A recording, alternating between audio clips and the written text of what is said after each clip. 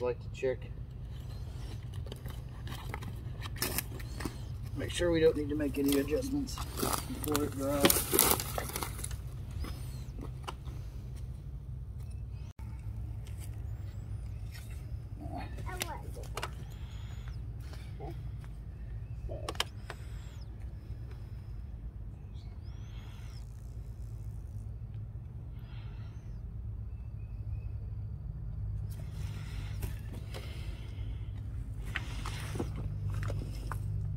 It's acceptable.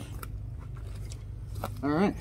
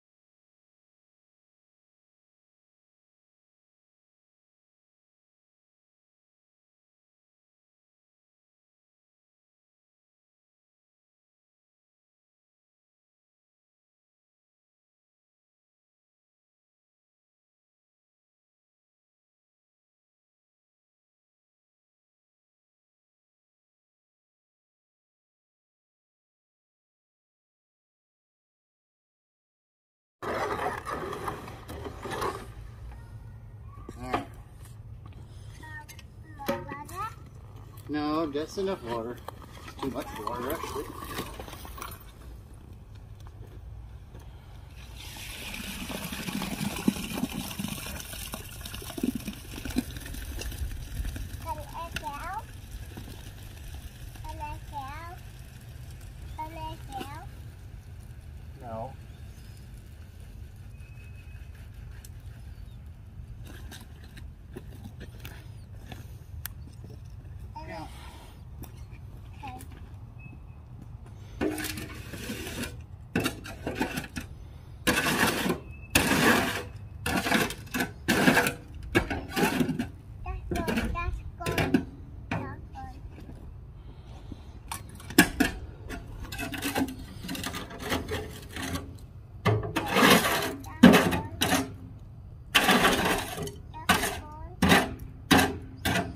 Okay, so uh, it's now like, I don't know, 3.30ish.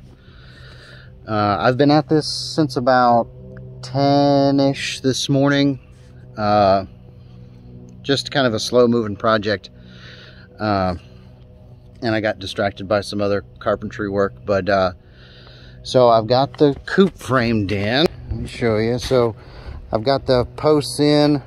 Uh, but anyway, so um, it comes down to the the floor joists now for the for the coop itself or the the the poultry concern as I'm being told it's called um, so he had it where it said something goofy like uh, like 17 and uh, like 16 inches 4 and 7 eighths or something like that uh, that doesn't really work well for people like me that are used to conventional construction plans, writing them or otherwise, uh, is that it needs to be on, you know, you, you think of them, these things as being on center. So what I did, flip you around here, is that you see this board here is six feet long. It's cut to six feet. So what, basically what I just did was, is it's supposed to create four different sections here so uh, 6 times 12 is 72 divided by 4, that's 18. So each one of these floor joists needs to be 18 inches on center. So that'll help when you're hanging the uh, when you're hanging the, the the floor hangers on this side is that it needs to be 18 inches. Uh, the other thing is is that he doesn't mention uh, he, he talks about two inch wood screws uh, into a two by six and that would work just fine if all lumber in the world was cut to two inches or exactly two inches, but it isn't. Uh, this is actually conventionally purchased lumber is actually a half inch smaller. So it, this is like, this is supposed to be, you know, two inch wood would be out to here. This is actually inch and a half. So I ended up having to go into town again uh, to get some uh, to get some inch and quarter uh, inch and a quarter wood screws exterior exterior wood screws uh, in order to hang the floor joists. So I'm going to keep working on this. I'm at least going to try to get the plywood in or the OSB in tonight. Uh, I've got to get this cut off uh, at this level here. I think I'm going to he in his video used the chainsaw. Uh, I could do that.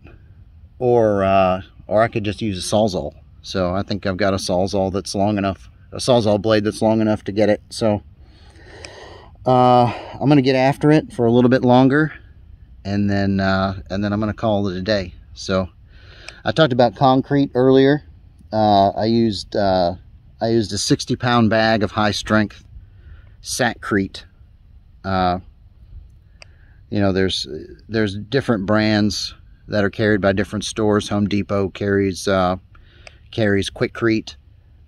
Uh, Lowe's carries Sakrete. So, you know, it's they're both the same, you know, bag, really. So, it's the same kind of stuff. It's a quick mix.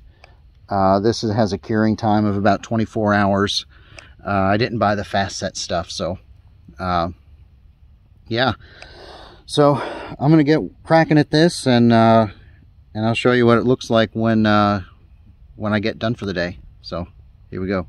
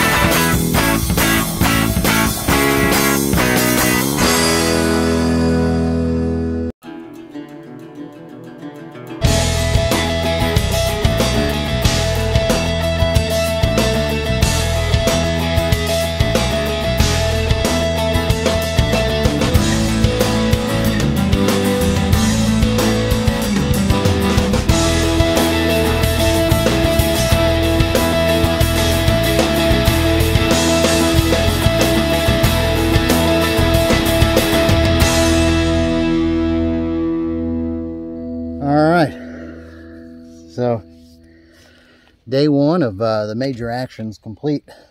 I got it, got it set up. I made a few errors, but yeah, part of that was because my uh, my uh, saw guide, my uh, saw guide wasn't set correctly, but you know, we improvised and we adapted and we overcame, so that's all we can ask for with that, really. Uh, so uh, tomorrow I've got other stuff to do. So uh, my son's like directly behind me. Uh, tomorrow I got other stuff to do. Uh, Tuesday, um, I'm gonna get started when I get home because uh, I I gotta work Monday. Uh, Tuesday, we're gonna get the walls up, the ones that we framed over the summer, last summer. So I'm gonna get those up uh, with help of the forklift on the tractor and uh, hopefully get the walls in and we'll be able to finish up uh, with this part of it.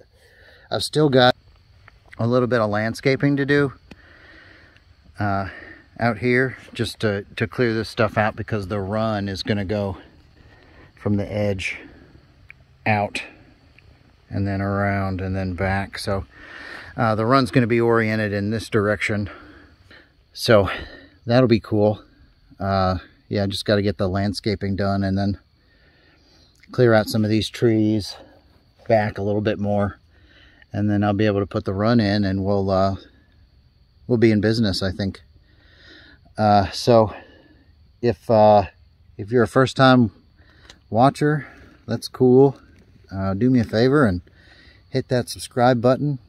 And uh, yeah, because metrics, Google likes to see metrics. So the more subscribers and the more views we have, the uh, the more likely we are to uh, to have more. So, uh, and then I won't think that this entire thing is in is a futile attempt at, you know, whatever. So, all right. So that's it for today. I'm tired. So, y'all have a good day. Make sure you subscribe. And uh, I'll see you again on Tuesday.